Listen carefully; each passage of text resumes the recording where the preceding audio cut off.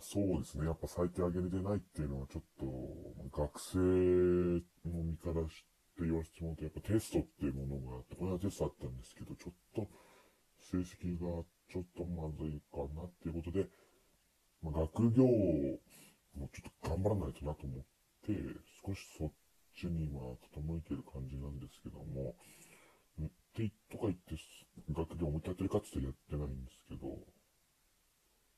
はい。そうですね。本当に、上げたいと自分の動画上げたいと思ってるんですけど、なかなかちょっと時間がなくて、視聴者さんには本当に申し訳ないですよね。もちろん今後も、全然、もう、やる気がないとか、そういうわけではないんで、全然私自身も、もちろんやる気はあってやってることなので、そこは責任を持って今後もやっていきたいと思ってますね。はい。だから今後は、もっと、パソコンも買ったことなんだし、逆にもっと頑張らないといけない時期なんですよね。それなので、まあ、今ここで辞めるとか、そういったことには至らないですね。いや、これ、いや、サボってないっすね。そういう言い方ちょっとおかしいと思いますけどね。あんたじゃサボってると思ってるんですか？私が。全然違いますから、それは。はい。そこはちょっと理解していただきたいなと思いますね。全然軽い気持ちで始めたってわけじゃないですよね、やっぱり。最近になって本格的に、はい、まあ自分の中では、とりあえず2年はやってみようっていう考えがあるんで、絶対2年をやろうと思ってますね。最近というか、まあ最初から今動画の数が90個なんですよ。ってことは、3ヶ月ずっと毎日動画上げたぐらいのペースなんですね。この、もう11ヶ月ぐらい経ってるんですけど、ちょっとひどいなと思って自分でも、もうちょいやっぱ頻度はもうちょい増やしたいですよね。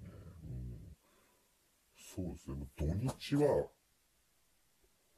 まあ、時間があるので、ここは動画を撮って、ここは動画上げたいなと思ってるんですよね。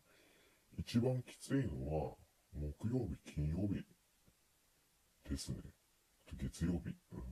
一番きついですね、この3つは。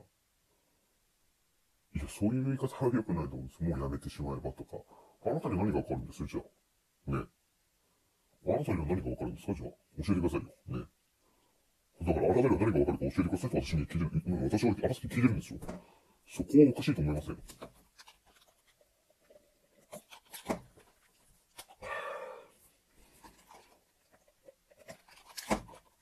そこはちゃんと話してくださいよ。ね。あんたは何がわかるんですじゃあ。私のやる気。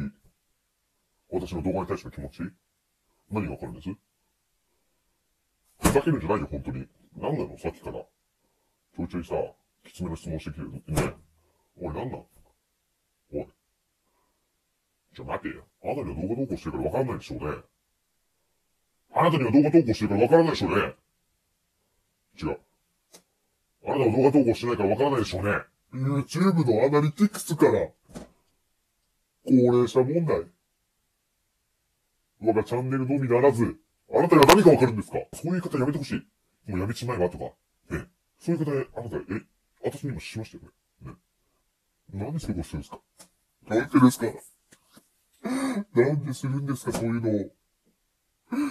やるわーわかるよごめんな変えたい。YouTube を変えたいと思って。ああ、この日本。